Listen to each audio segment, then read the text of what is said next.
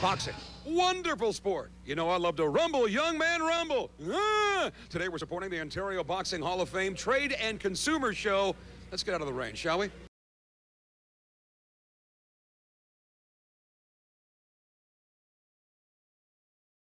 Welcome to the DO Boxing Show. I'm your host, Dameon Okposio, and thanks for tuning in to another episode.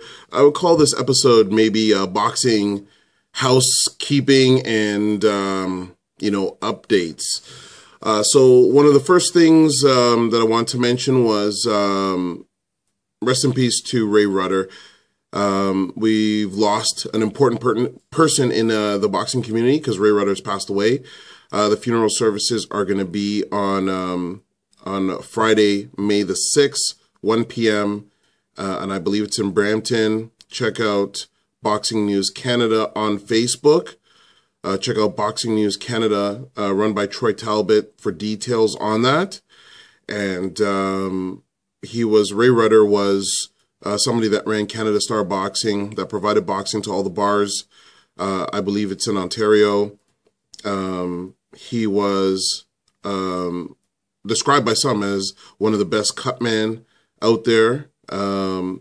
He he worked corner. He was involved in in all aspects of boxing, basically, and um, he was a guy that genuinely loved the sport of boxing and um, and gave a lot to the sport of boxing. So, a uh, very well respected man. Unfortunately, passed away. I don't know what um, the full details are, um, but if you know him and um, you have an opportunity to attend on uh, May the 6th. Um, check out Boxing News Canada, please, for the details.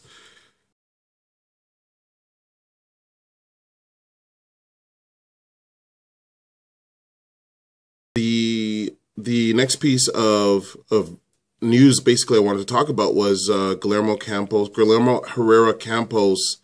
Um, he, um, I got to see him when he left the hospital uh, he was walking with a cane. Um, his he's getting better. He's uh, he flew out to Mexico. I believe it was um, either Tuesday or Wednesday morning, and um, you know, uh, just from his his mouth, he was very grateful for all the the help that he received from everyone. Um, you know all the uh, well wishes and and people that came to see him. He was really appreciative of that, um, and I think that was awesome too of the boxing community how they came together to help uh, someone that was just in an unfortunate circumstances from our community. Um, so thanks to everybody that participated in, in, in any way with regards to uh, Mr. Campos. Uh, the other stuff that's going to be happening this weekend Saturday, May the 7th is uh, the boxing trade show, which is going to be taking place on um, on May the 7th, Saturday. So the setup for the vendors is going to start at 9 a.m. and go to 11 a.m. So 9 a.m. to 11 a.m. Uh, bring whatever items you need to bring um, and take as long as you need to set up up until 11 a.m. because that's when we want to open the doors for the public. Um, Please bring the items in through the back, not the, the front glass doors. This is going to be in the um, information package as well that was available either on a download from my app, the DO app. Um, it's available through my website, dameonokposio.com, and um, either it might have been given to you in person, mailed, or emailed to you. If you're a vendor and you don't have it, I know we've had a couple of vendors come on uh, at the last the last um, couple weeks. Um, just ask me, and I'll provide it for you. And um, this trade show is going to be. It looks like it's shaping up to be really an awesome trade show. Happy to have it again. Um, bringing it back to people for another year. Um, this is our sixth year, and uh, we pre-sold 650 tickets. So whether that shows in attendance, we're going to wait to see but it's um, it's looking very promising. And so thanks to everybody that's participating in that. The trade show is going to go from 11 a.m. until 5 p.m. and then we shut down. That means everybody's got to leave. Um, the vendors will tear down. Uh, my team will be transforming the hall to get ready for the induction ceremony in the evening. The induction ceremony is a separate event with a separate ticket, and it's going to go from 7 p.m. to 10 p.m.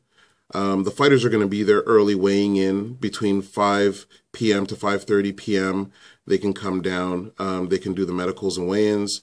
Um, the public is not going to be privy to that because the main hall will be closed at that time. Um, the doors will reopen at 7 p.m. and for the it's it's the induction ceremony is the name of it, but there's going to be live amateur boxing, and um, the the doors will open at seven. The fights will start approximately a half hour later if there's no issues, um, and the fights will get going from seven thirty. That's when the meals will be as well, um, for those that bought tickets with meals, and um, and that will go. The fights will go until approximately about nine nine thirty. And uh, if we're on schedule, then we're going to be doing the awards and presentations. Um, so, so during that time, um, the scholarship recipient will receive his check. So those of you watching, don't try, don't try and catch this one, but um, that's when the recipient will receive his check, and then we're going to be um, recognizing the inductees for 2016 that have made their contributions and they will be getting plaques like this. Um, it's uh, their information printed onto a metal plate and uh, and then mounted on a plaque. So they came out extremely nice.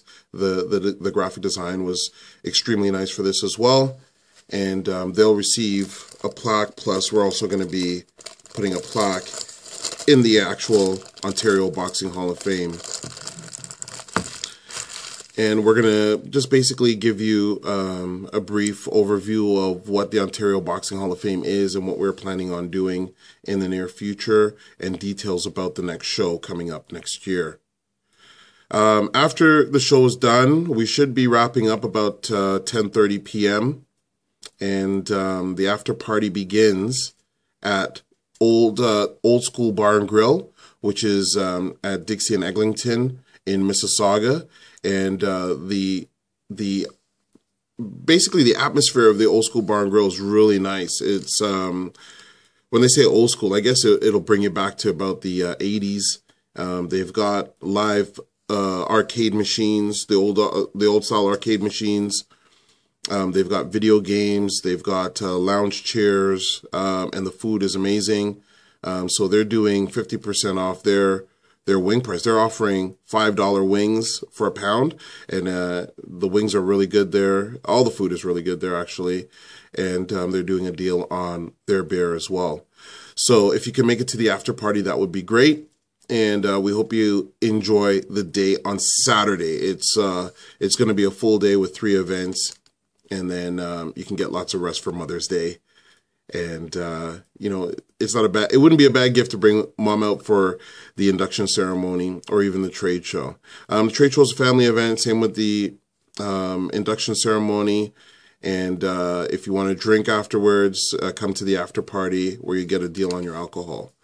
Um, anything else remember you can always send us a message through twitter or email um, you can call me as well, 647 224 2199. These next couple of days, I'm going to be on the road, so that's probably the best way to reach me immediately. And uh, we'll see you on Saturday. And uh, I want to thank everybody that is participating and um, that has helped. Thank you to all my sponsors. And uh, we'll see you all on Saturday. Any questions, remember, hit us up. Thank you so much for tuning in, and uh, we'll catch you on the next episode.